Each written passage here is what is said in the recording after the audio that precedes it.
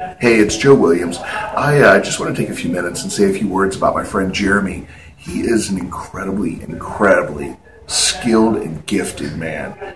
He's unbelievably knowledgeable and funny and has a heart of gold, most importantly. If you get a chance ever to work with him, to be coached by him, to see him speak, anything like that, seize it. Seize it. You won't regret it. See you soon.